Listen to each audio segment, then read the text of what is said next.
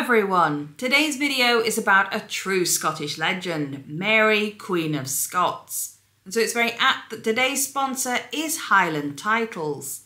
Highland Titles are a family run business that have been preserving Scotland's beautiful wild landscape since 2006.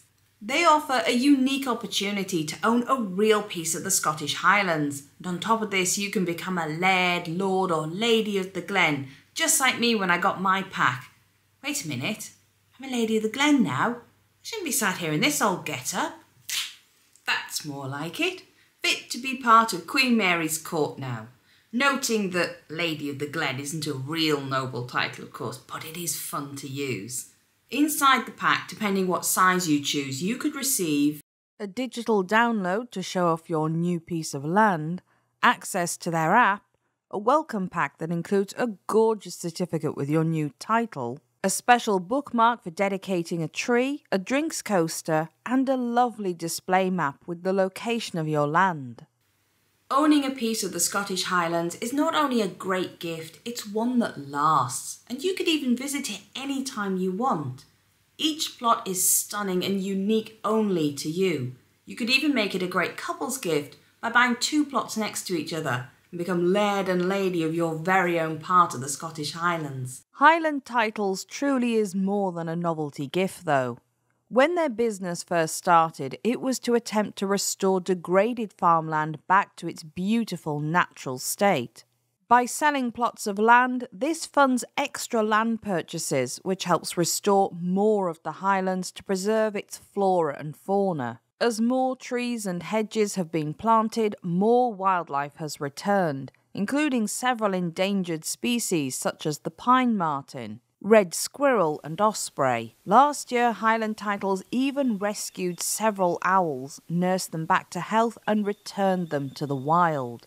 So, your plot of land is not only a fun way to call yourself Laird, Lord, or Lady of the Glen, but it's your personal part of the Scottish Highlands as well. And on top of this, you're helping the planet by contributing to the conservation of the Highlands and its stunning wildlife. And best of all, if you use the link below in my description, all of my viewers will receive a 25% discount off any plot size they choose, and they start from as little as $30. Now, let's get back to the video and find out more about a real lady of the Scottish Highlands, Mary, Queen of Scots. Mary, Queen of Scots, was a woman who was almost literally a queen from birth. For much of her life, she was seen as the binding contract of a friendship between Scotland and France, and for the rest, she was a problem for her religion and the threat she posed to the English throne. But it was one event that would dramatically twist the reins of power from her hands forever, and it is that event that this video looks at in detail. The murder of her second husband, Lord Darnley, and the aftermath. Mary was very unusual in that when she was born on the 8th of December 1542, her father, James V of Scotland, was already ill from either cholera or dysentery, and he died just six days after her birth making her Queen of Scots before she was even a week old. However, she also came from a long line of child monarchs, beginning with James I of Scotland, her three times great grandfather. Due to her young age, her childhood reign was dominated by regents, including her mother, Mary of Guise. Her mother came from the powerful Guise family who were in favour with the French monarch Henry II, and this would have a bearing on young Mary's future. When she was around eight months old, the Treaty of Greenwich was signed between England and Scotland on the 1st of July 1543. This included a plan by Henry VIII that England and Scotland should eventually be united in some fashion and part of this was the agreed betrothal between Mary and Henry's son, Prince Edward. However, the truth was that Scotland's government and royal family both favoured a connection with the French, and of course, the English absolutely wanted to prevent this. Therefore, James Hamilton, Earl of Arran, who was at the time regent, moved very slowly on the marriage. When it became clear what was really happening and Henry arrested some Scottish nobles and impounded their goods, it kicked off a series of wars that would become known as the Rough Wooing. It was a name that hid the true devastation and violence of the conflicts. By 1547, Scotland wanted assistance, and France promised to deliver it in exchange for Mary's betrothal to the young Dauphin, Francis. It was agreed upon, and at just five years old, young Mary set off with her own court from Dumbarton on the 7th of August 1548 for Brittany. She would spend the next 13 years of her life in France. She charmed all at the French court and was praised for being a clever and vivacious child. And as she grew older, beauty was added to that list too. As befitting a queen, Mary was taught how to play both the lute and the virginals, the two most popular instruments of the time. She knew how to read, write, and study poetry. As with her contemporary Elizabeth I, she knew many languages and was taught her native tongue of Scots alongside French, Italian, Latin, Spanish, and Greek, as well as horsemanship, falconry, dancing, sewing, and needlework. We even have a very good idea of what she looked like, both from contemporary portraits and descriptions. Mary would end up very tall for a woman of her time at 5 foot 11 inches and was considered strikingly beautiful as an adult with auburn hair, hooded hazel brown eyes, smooth skin, and an elegant neck, and was noted for being very eloquent. In a twist of fate, her future husband Francis would end up quite short with a stutter. On the 4th of April 1558, Mary signed a secret agreement that if she died without having children, both the Scottish throne and her claim to the English crown would pass to France. On the 24th, just a few weeks later, she married the Dauphin at Notre Dame. In November of that year, the death of Queen Mary I of England meant that there was a shift in politics across Europe. In the eyes of many Catholics, her true heir should have been Mary through Margaret Tudor, Henry VIII's sister, but instead, her Protestant sister Elizabeth I took the throne. This would be the roots of a conflict that would end with Mary of Scots' head on a chopping block many years later. The following year, Henri II died on the 10th of July 1559 in a jousting accident, leaving his 15 year old son Francis to become king. Mary was now Queen of France and Queen of Scots. Despite many later accounts making out Mary did not get on well with her formidable mother in law Catherine de' Medici, she actually did. She was a source of comfort for Catherine after Henri died, and the two women would often spend time together at prayers or dinner while Francis went out hunting. Francis was a difficult person to spend time with, as due to his general ill health, he was often violent and bad tempered.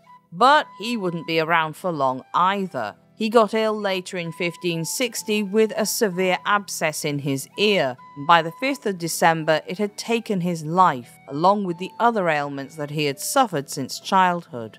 Mary was no longer Queen of France, and her brother in law, Charles IX, took the throne at just 10 years old, with his mother Catherine acting as regent alongside the Guise family. Nine months later, Mary returned to Scotland, a place that must have seemed foreign to her after spending most of her life so far in France. While she was no doubt told about the complex political situation in Scotland, it was another thing to actually experience it firsthand. When she had left at five, Scotland, including its nobles, had been mostly Catholic. But by the time she returned, a strong Protestant faction also existed, led by her illegitimate half brother James Stuart, the Earl of Moray. As a result, Mary was viewed with suspicion by many in Scotland, and she had a similar problem to England in that her country was divided into Catholics and Protestants. But unlike Mary I of England or Elizabeth I, she did not implement a standard religion for Scotland and instead tolerated both factions existing. This angered both sides, and the Catholics were especially put out that she also kept her half brother Moray as her chief advisor. It wasn't a bad move. We can see that she likely considered it would keep everyone happy if they had a Catholic queen with a Protestant advisor who was also her relative. Her Privy Council was also made up of 16 men who had retained their offices for a long time, and many of them, again, were Protestant. And worse than this, many of them had been leaders during the Protestant Reformation crisis of 1559 to 60. Some historians consider this was Mary admitting she couldn't face another Protestant uprising militarily on her own, and that she may have been focused on the English throne over the internal problems of Scotland. She would have found Scotland a very different prospect to France. The country as a whole was poorer, including the nobles, and there was constant infighting amongst them. This infighting was a result of clan arguing and several generations of marriage between clans, and the separate areas under the control of each noble was treated almost as a separate principality.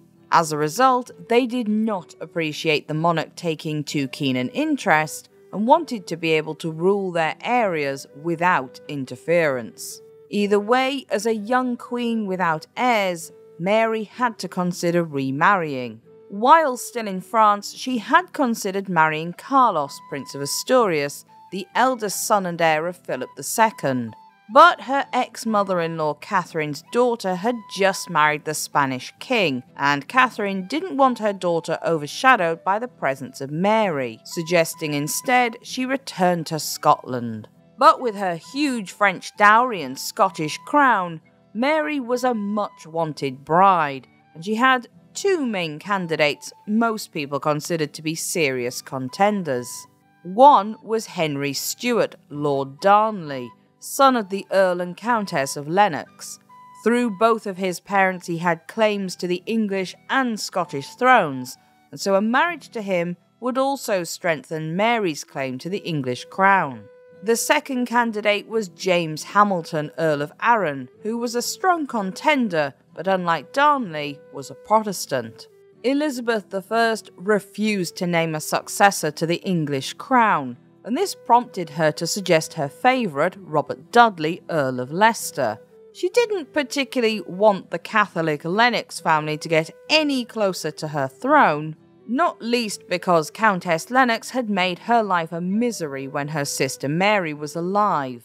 She also promised Mary that marrying Leicester would increase her chances of becoming the English Queen's heir, but the potential bridegroom had little appetite for the idea. Mary had already briefly met her half cousin Darnley when he had travelled to France to offer condolences on behalf of his family for the death of Francis, but he had also secretly made clear his suit. But for a long time, Mary had not let go of the possibility of marrying Don Carlos, but Philip II was reluctant to agree.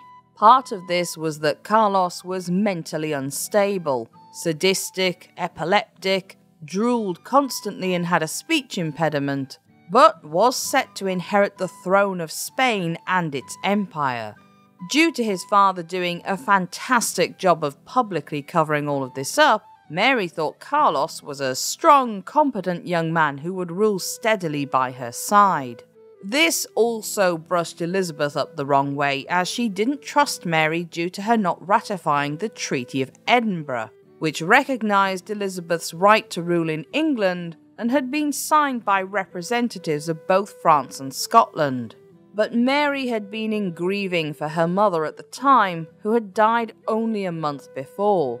However, Elizabeth and Mary also felt an affinity with one another as kinswomen and as fellow female rulers, and both made efforts to remain on friendly terms. However, Mary was increasingly frustrated with Elizabeth's over interest in who she should marry, although Elizabeth maintained this was due to the fact she would name Mary as her heir if she chose a suitable husband. In February 1565, the Scottish Queen would meet again with Lord Darnley. On paper, he was a good match for her. He was at least six feet tall, if not a few inches taller. He was handsome and liked athletic pursuits as much as she did, was accomplished at playing instruments, was a poet, and was considered charming and friendly. However, the part that not many saw was his other side, which was spoilt, petulant, selfish, and immature. His arrogance and quick temper would win him enemies over the course of his short lifetime, as well as his sexual promiscuity, which drew him further unwanted attention. When they met, however, Mary was extremely well taken with him, and when she returned to Edinburgh, he came with her in very high regard. On top of this, having been raised at the English court, he had followed Protestant doctrine despite his family being Catholic, and being fluid in this way regarding religion won over some who were uncertain about him. Until March of that year, Mary had still been prepared to marry the Earl of Leicester, provided Elizabeth publicly acknowledged the Scottish Queen as her heir. However, when this was relayed back to the English monarch, she replied that if Mary married Robert Dudley, she would do everything she could to advance her cousin's position, but that she couldn't commit to naming Mary until she was married herself. Mary must have been furious at being conned in this way. By this point, Mary was also close friends with an Italian called David Rizzio. He was a courtier from Piedmont who had managed to find himself part of the musicians Mary had brought with her from France, and from there became her close confidant and private secretary. He jealously guarded access to the Queen and was disliked by most of the lords at court for this reason, as well as the fact he was Catholic. Rizzio saw that he would be able to win over some favour if he made friends with Lord Darnley and encouraged the match with Mary. Darnley had already been knocked back once for proposing too soon, but he fell ill in April, and Mary spent the night by his bedside nursing him back to health. This was scandalous behaviour for an unmarried queen, and it became clear she was infatuated with him shortly after. On the 29th of July 1565, despite the fact they had no dispensation from the Pope, Mary and Henry Stuart were married at Holyrood Palace, although she felt safe knowing that Catherine de' Medici and her son Charles IX apparently approved of the match.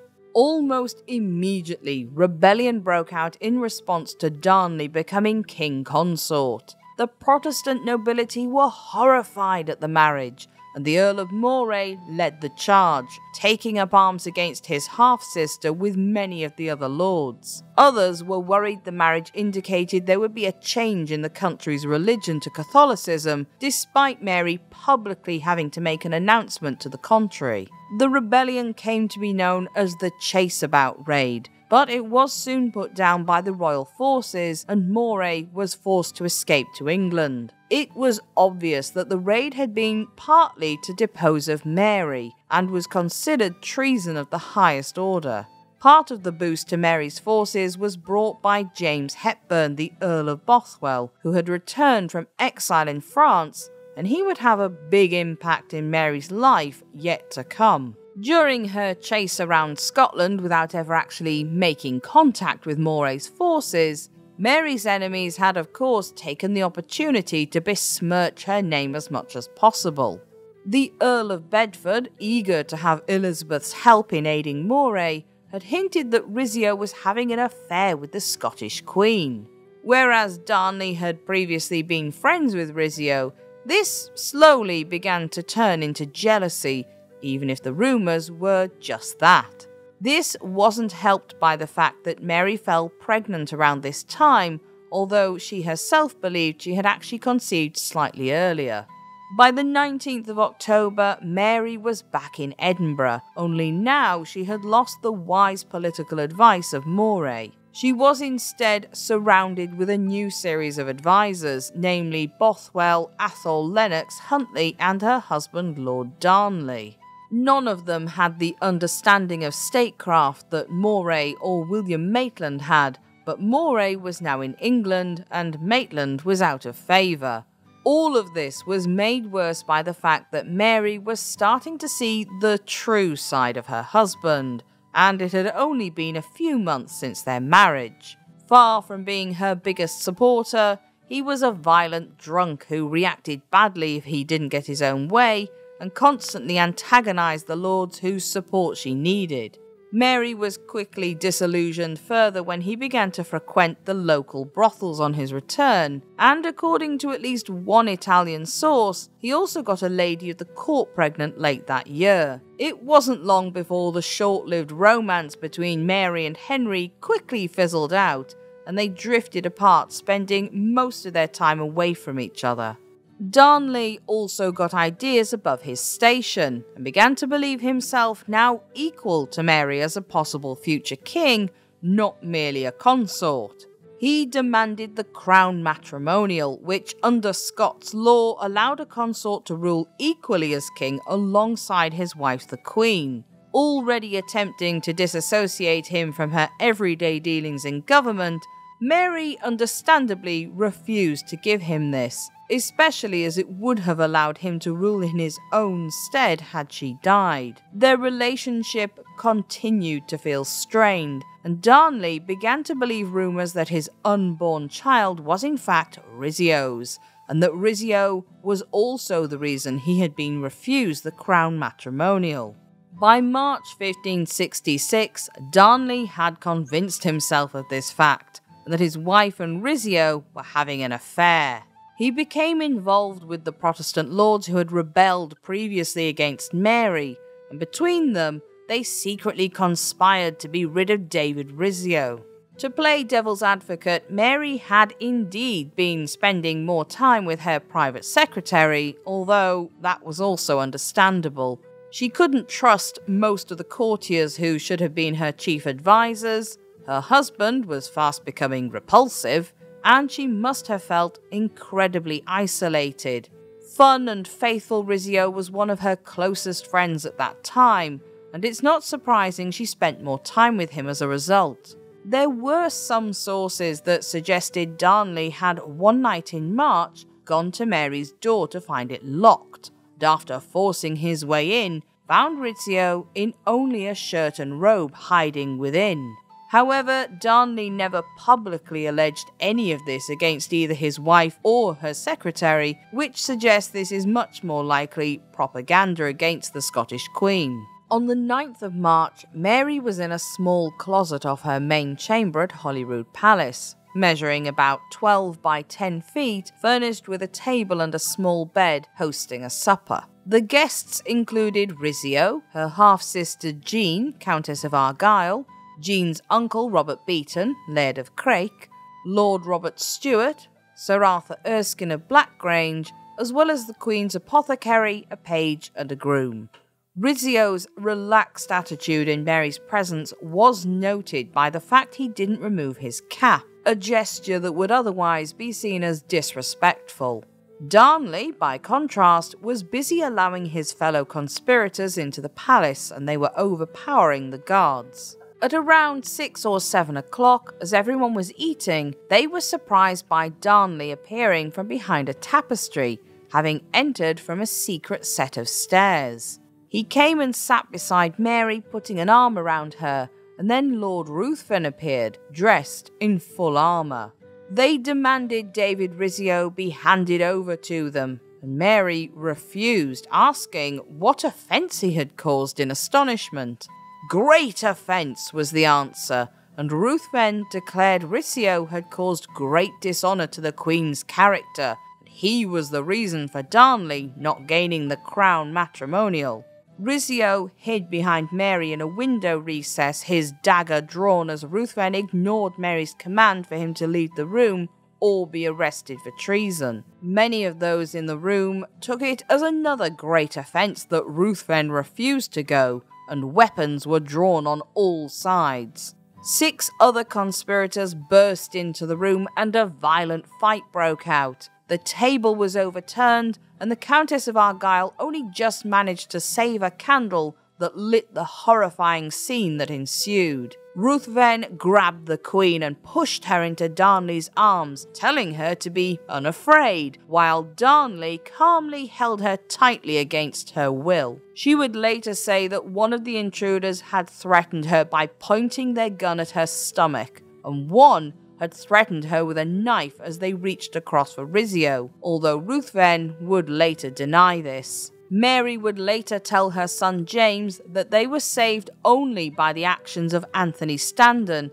who moved the blade away from the Queen. Mary would understandably always remain convinced she and her unborn son were meant to be the true victims of the conspiracy. Rizzio apparently grabbed at the Queen's skirts, crying out in Italian, Justice! Justice! Save me, my lady! I am a dying man! Spare my life! Darnley bent back the man's fingers and he was grabbed and dragged through to the chamber beyond. He was stabbed at least a horrendous 56 times, and they ensured Darnley's dagger was left in Rizzio's side to proclaim it had been done on the king's orders. However, it's unlikely that Darnley ever actually got a single blow on Rizzio. The private secretary's body was thrown down the main staircase and stripped of its clothing and finery. Mary herself later stated she was in fear of her own life and that of her unborn child, but she was able to speak privately with Darnley after Rizzio was dragged away. She managed to convince him that both of them were in danger and they escaped the palace at midnight when the guard was relaxed. Darnley realised that he had only been a means to an end, and that the Scottish lords had no intention whatsoever of placing him on the throne. They made it safely to Dunbar Castle, and from there to Edinburgh, where Mary met up with her supporters. Although she took up lodgings on the Royal Mile rather than in the castle. It's clear she was unsure who she could trust. On the 21st of March, Mary had her husband declared innocent of Rizzio's murder. She was reconciled with Moray, as well as many of the other lords who had fallen out of favour, and Moray was restored to her council. Mary had also been writing to her cousin Elizabeth, who was shocked and horrified at how Darnley had treated his wife. In April, she wrote a letter asking the English Queen to not allow the fugitive lords to remain in England and invited Elizabeth to be godmother to her unborn child. Darnley was furious as he hated Elizabeth and she had never recognised him as King of Scotland, but he was ignored in the interests of his future child and the possibility of them being heir to England's throne. Elizabeth, for her part, was striding about with a miniature figurine of Mary hanging from a gold chain at her waist, and declared that if Darnley had been her husband, she would have stabbed him. On the 19th of June, Mary finally gave birth between 9 and 11 am after a painful and long labour of around 20 hours. Her child was a boy named James after her father, and she declared that he would be the son who would unite Scotland and England. An English envoy, Sir William Stanley, asked her if she meant for the child to be king before his father, and she replied that Darnley had broken with her. Darnley asked sharply if she had not forgotten and forgiven the events in March. Mary answered that she had forgiven, but could never forget. From that moment on, there was no chance of reconciliation between them. During her lying in period, Darnley went out drinking heavily and causing chaos in the streets of Edinburgh with his friends, and many began to dislike him once more. Mary herself found him a constant thorn in her side. Others reported that he was no longer in favour with her. She began to fear for her son, as even Catherine de' Medici expressed concerns that Darnley was not behaving as he should towards little James. Instead of setting up a separate household for him, as was customary, Mary instead kept her baby son close to her at all times. On top of this, it was reported that Darnley had an intimate friend in Don Francisco de Alava, the Spanish ambassador to the French court, likely because he was trying to cultivate Spanish friendships for his ambitions of gaining the Scottish crown. Mary's terrible judgment of character came to the fore as she increasingly once again found herself unable to know who to trust. She came to lean on the Earl of Bothwell once more, allowing him to manage the bulk of her affairs and conferring gifts on him. She increasingly spent her time away from Darnley, to the point that in July, when she travelled to Stirling alone and Darnley followed her on horseback, she refused him and called him an unwelcome intruder. As with other times when she showed too much favour to one courtier, the rumour mill started about herself and Bothwell. In October 1566, while staying at Jedburgh, Mary was noted as having made a journey on horseback of four hours each way to visit Bothwell, where he was ill with wounds after a fight. While no suspicions were raised at the time, and she would have been accompanied at all times by her counsellors and guard, this would later be used as evidence she was having an affair with James Hepburn.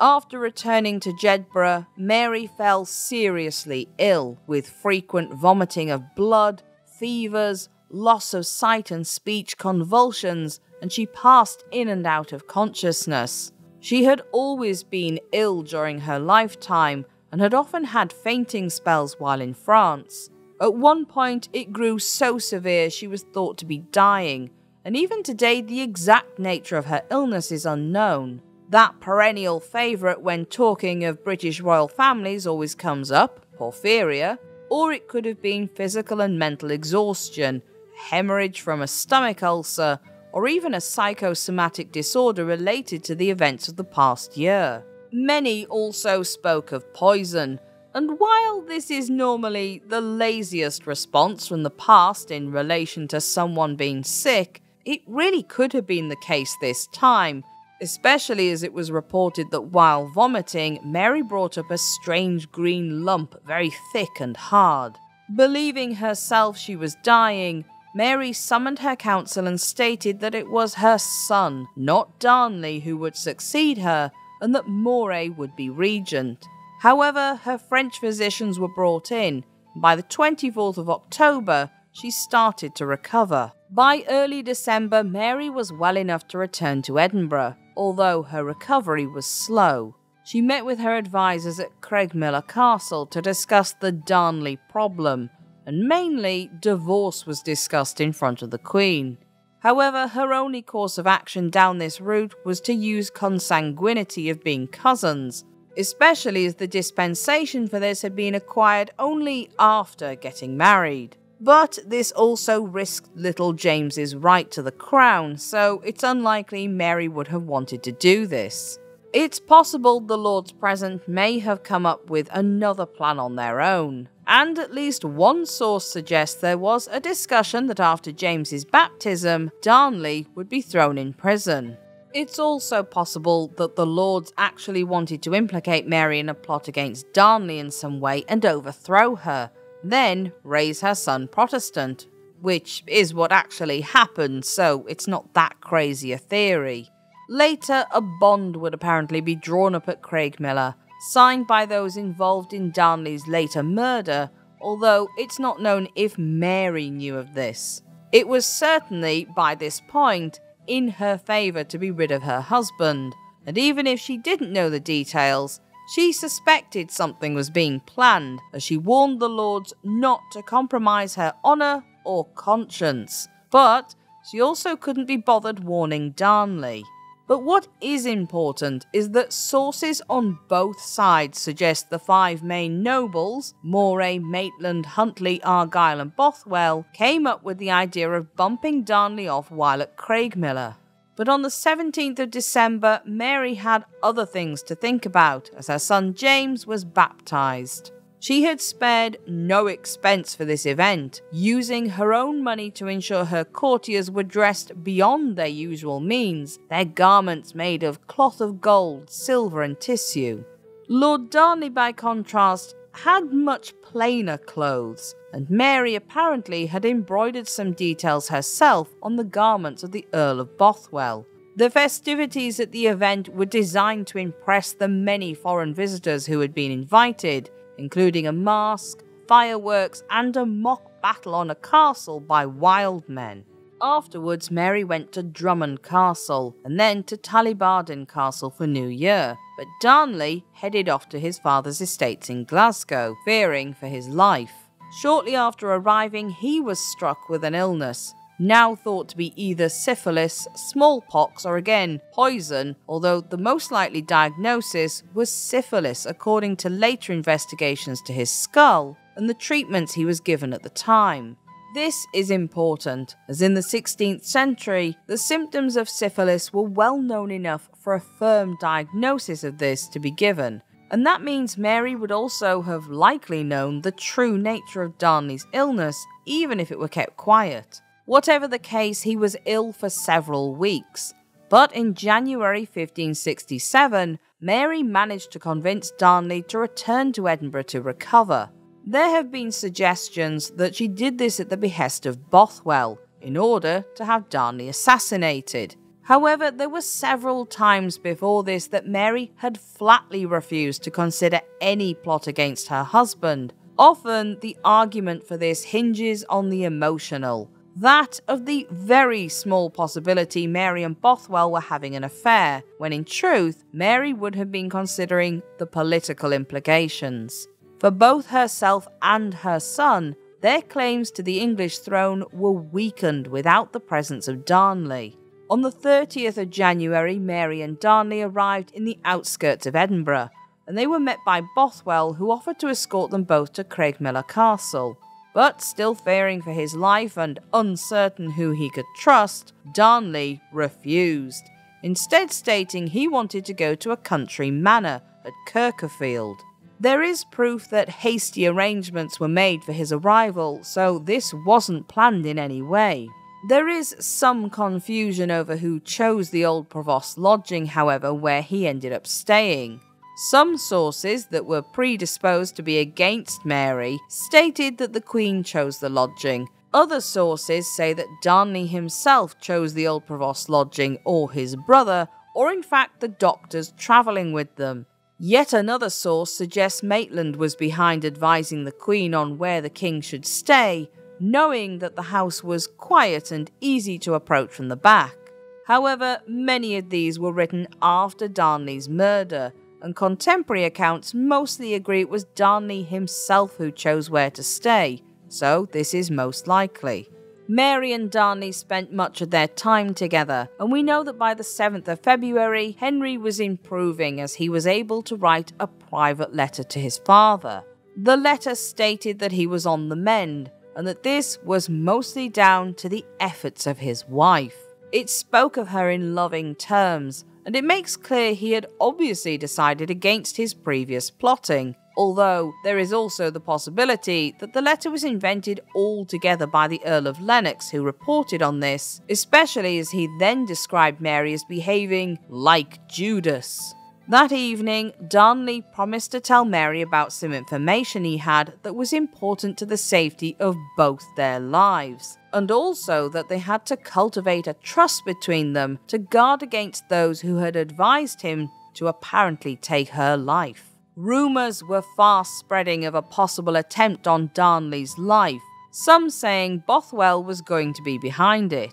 One of William Cecil's spies later stated that Lord Robert Stewart, the Queen's half brother, had come to warn Darnley that if he wasn't moved from his lodgings, it would cost him his life. On the Saturday, the 8th, Mary summoned Robert and asked him about what he had said in front of Darnley, Moray, and Bothwell but he denied ever saying it. A quarrel then apparently occurred between Darnley and Stewart, and swords were drawn, but it ended peacefully. On the Sunday, the 9th of February, it was the last Sunday in Lent, and as such, Mary had a full day of festivities and duties planned. That morning, Moray came to Mary and asked leave to go home to St Andrews as his wife was very ill after a miscarriage. It now seems very likely he had knowledge of what was about to happen and was purposely removing himself, especially as he didn't come back immediately once his wife was recovered. Late on Sunday morning, Mary attended the wedding of two of her favourite servants at Holyrood Palace and was the guest of honour at the wedding breakfast. She had also promised the couple she would attend a masque they had arranged in the evening to celebrate their marriage. At 4 pm, she attended a banquet in Canongate, accompanied by Bothwell, Argyll, and Huntly, who were already dressed in their costumes for the masque. Around 7 pm, Mary, who was herself dressed in a mask already, left with many of the lords who had attended her and went to spend the evening with her husband. While Mary chatted and kissed Darnley, those who had come with her, namely Bothwell, Argyll, and Huntly, played dice with a member of her Privy Council who also happened to be a Catholic, Gilbert Kennedy, the Earl of Cassilis. There is again some conflicting reports over when they left, but it was likely between 10 pm and midnight, with Mary and her courtiers stating they left around midnight. When Mary left, Darnley made it clear that he expected her to return and spend the night with him. However, Bothwell reminded the Queen that in the morning she had arranged to ride to Seton, and therefore it would be better for her to sleep at Holyrood Palace. Maitland also agreed with her leaving the lodgings, and this has often puzzled historians who suspect he wanted to do away with the Queen as well. Although, this perhaps shows that if the Lords did indeed plan Darnley's murder, they didn't actually want to kill off Mary as well. Moray had only ever shown that he wanted her removed from the throne, not actually executed. Mary attempted to assure Darnley she would be with him the following day, and she gave him a ring as a token of this promise. As Mary mounted her horse in the courtyard, she saw Nicholas Hubert, who was known as Paris, and noted loudly to her surprise that his face was dirty. She would later realise it was possibly gunpowder. He said nothing, and as she rode away, she noted that his face had gone red. Over at Kirk o' Field, Darnley got ready for bed and talked to his servants before going to sleep around 1am. An hour later, around 2am, the town was shook by a massive explosion. Some people would later declare they had seen guards running through the darkness just moments before the explosion, and it was followed by the townsfolk waking up suddenly, the air filled with the sound of confusion and fearful cries. The entirety of where Darnley had been staying was blown up from its very foundations, so much so that the neighbouring houses were shaken as well. The Privy Council would later decide it had been blown apart by a large quantity of gunpowder, and that it was so explosive that nothing remained of the rooms within the house except powder. Two women known as Mrs. Merton and Mrs. Mary Sterling both said they saw around 11 men running out of Blackfriars Gate after the explosion, and that Mrs. Merton shouted they were traitors up to some evil deed and tried to stop one of them to ask what had happened. The two women were ignored and they watched the men split into two groups and disappear in different directions. This makes it clear this was an organised explosion, sorted by someone who had men under their command and the resources to make it happen. Mary had been awoken at Holyrood with the explosion and, believing it to be cannon fire, had sent messengers out. When it became clear what had happened, Bothwell was given the news as he was Sheriff of Edinburgh and therefore in charge of investigating crimes.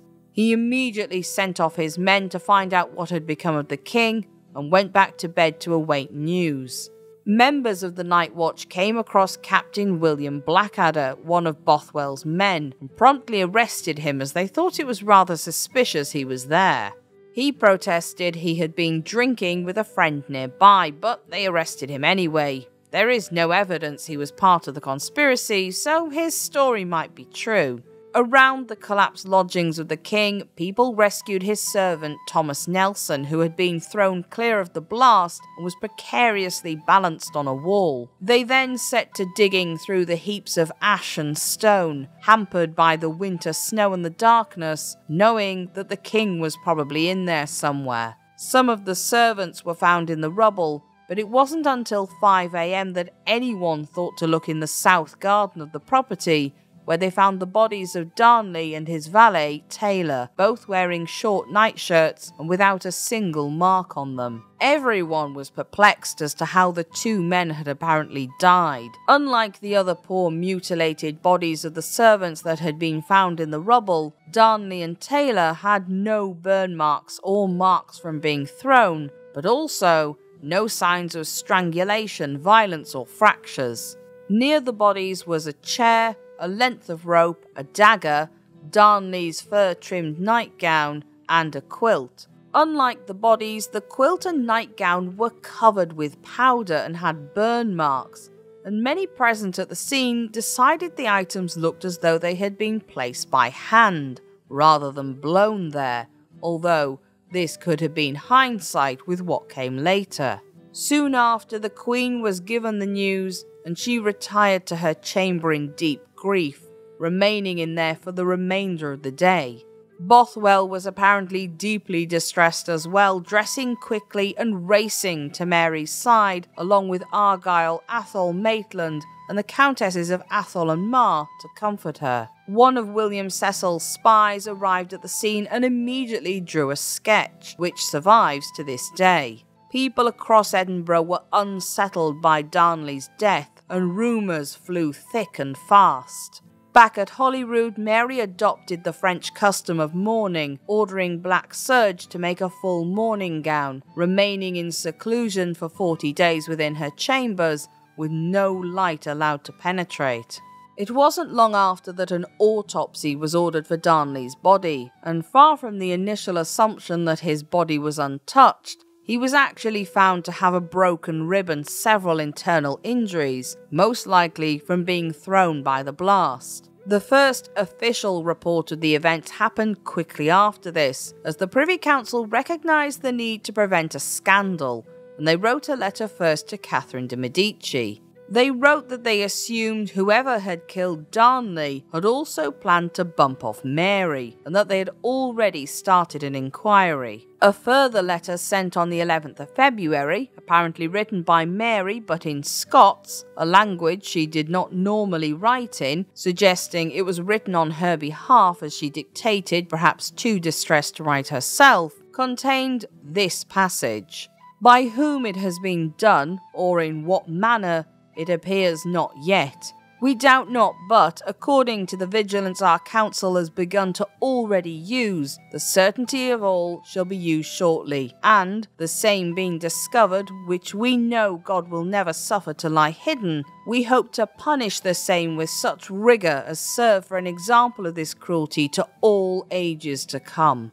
If Mary really had any part in the murder, she was playing the part of a vengeful queen to perfection. It's far more likely this is not a ploy, and that Mary's vehement language is in fact indicative of what she really felt. She went on to also show that she felt the explosion had clearly also been meant to kill her as well as Darnley, and this adds a completely different dimension to events.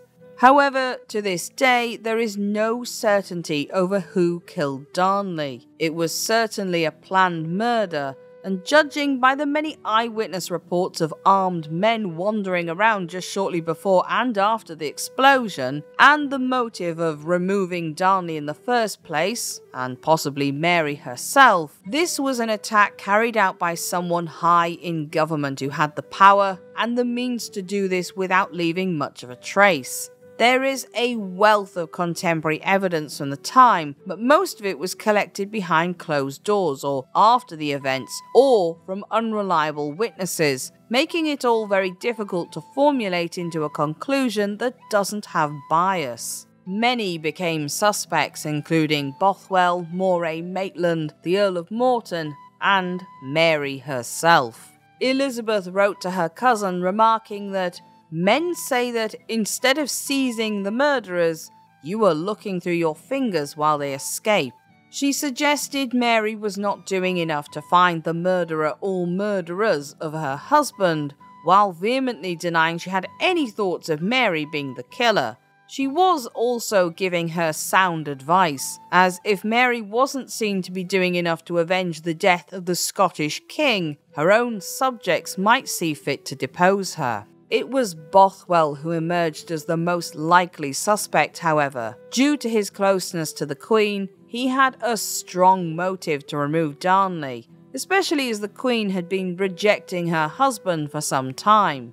Bothwell had grown in power over the past few months, had the means to carry the explosion out, and according to some depositions, had carried powder kegs to the lodgings with his men hours before the blast. However, interestingly, Bothwell himself also wrote to Mary and agreed to undergo a trial, which suggests either an innocent man or possibly one who was very certain of having covered his tracks well.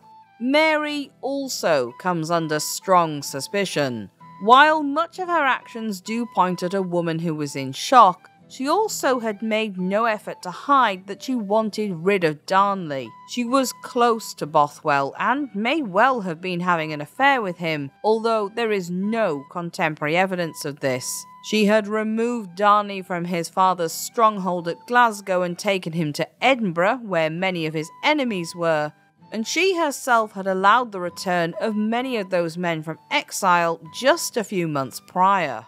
Certainly, later she had no qualms about telling Anthony Babington she was fine with Queen Elizabeth being assassinated in order to claim the English throne.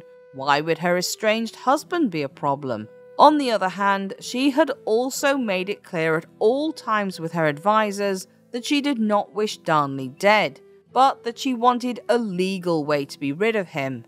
She had also thought he was plotting against her and her son, and so had removed him from Glasgow from near the Clyde where ships could come in.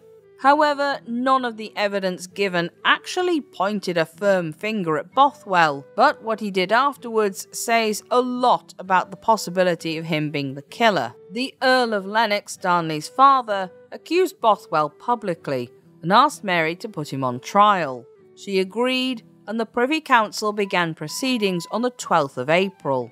Mary had actually met all of Lennox's requests leading up to the trial, and again, it's highly unlikely she would have agreed to such a public ordeal had there been any chance of her being found guilty.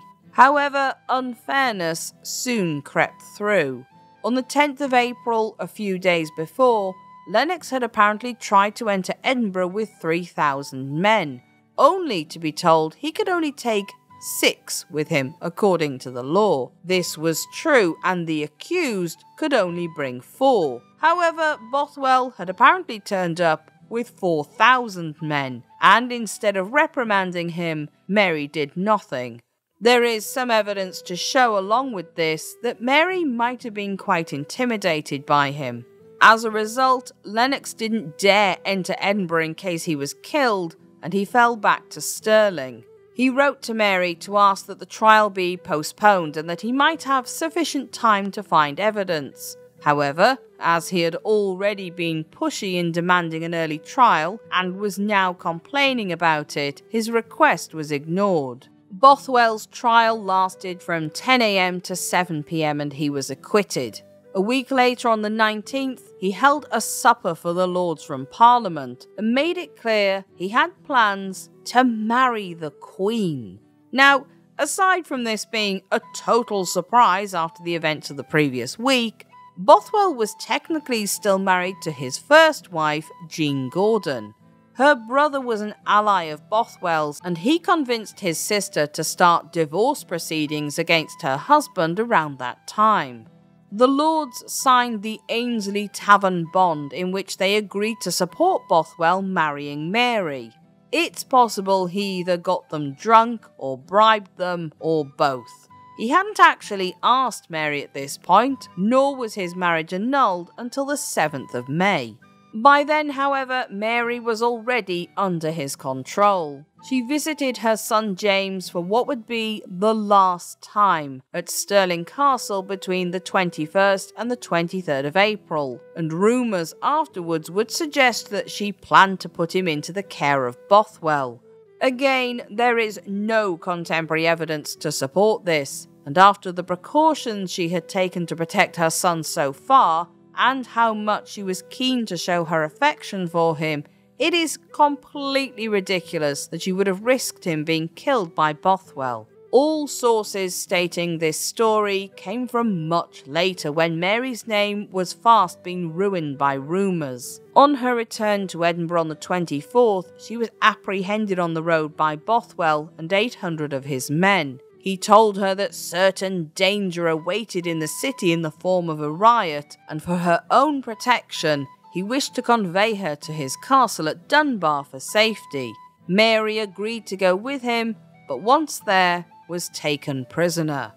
At his castle, Mary was then allegedly raped by Bothwell in an effort to secure a marriage to her, as now there was a chance she could be pregnant.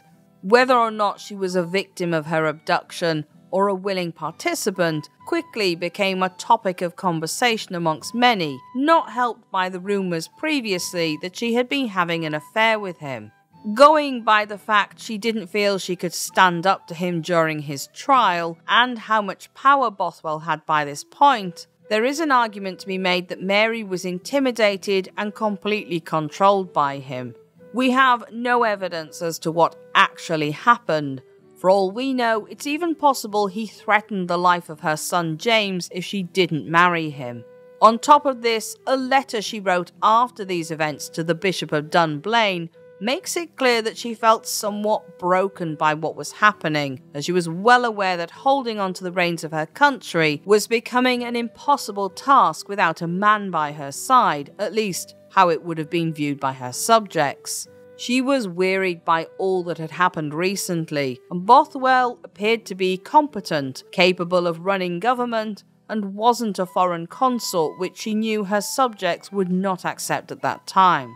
Mary was also well aware that for the sake of her own honour, as well as that of Bothwell, she could not openly accuse him of rape. Unfortunately, while Mary was left with little choice but to marry him, and she even had good reasons for doing so, many still thought of Bothwell as the most likely murderer of Darnley, and in marrying him, she brought herself under suspicion once more the marriage would be tempestuous and unhappy, and eventually the Lords would rise up once again against Mary and Bothwell. The marriage angered everyone. Catholics especially wouldn't accept the marriage because they saw Bothwell's annulment as unlawful, and because his marriage to Mary had been under Protestant rites. Bothwell eventually fled to Denmark where he would go insane and die, and Mary was arrested. She miscarried twins between the 20th and 23rd of July 1567, not only a sad event for her as their mother, but it might also have changed events had they lived. She was forced to abdicate in favour of her infant son, which of course allowed many of her courtiers to once again take power for themselves. Mary would eventually escape to England, throwing herself on the mercy of her cousin Elizabeth and hoping for aid to reclaim her throne, although this aid never materialized. Eventually, Mary would grow weary of being treated as a prisoner for around 19 years, and she would relent to agreeing to a plot to assassinate Elizabeth. Sadly for Mary, the plot was being closely watched and she was discovered by Francis Walsingham, Elizabeth's spymaster, and Elizabeth had little choice but to condemn the Scottish Queen to death. Mary would be executed by beheading on the 8th of February 1587 at Fotheringhay Castle in the Great Hall, wearing a crimson gown, the colour of martyrdom in Catholicism. All of her belongings and anything that had a drop of her blood on were burned in the great fire of the hall to prevent relics being made of them. Elizabeth would later claim she had not ordered the death of Mary at all, but it was clear she indeed had a hand in events while ensuring she wasn't directly blamed for them. But the death of the Queen of Scots triggered Catholics across Europe to centre in on Elizabeth. Mary's death was not a direct trigger for Spain choosing to attack England, but it was one of the main reasons. Much of Mary's part in events leading up to Darnley's death and shortly afterwards were out of her hands. She was a strong queen, much like Elizabeth, but unlike her cousin, she was not a good judge of character. Mary put her faith in the wrong men surrounded herself with advisers who wanted power for themselves at the expense of her own, and ultimately was a lonely figure who became a tragic one in lieu of her decisions.